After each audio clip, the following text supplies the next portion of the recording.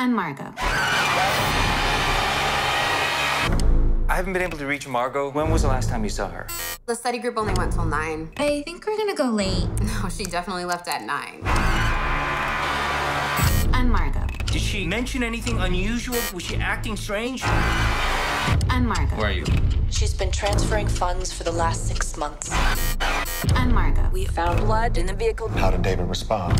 These problems usually start in the household. Mr. Kim, is everything okay? Everything is great. Margot and I are great.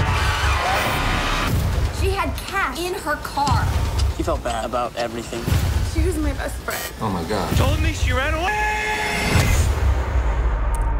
I didn't know her. I didn't know my daughter.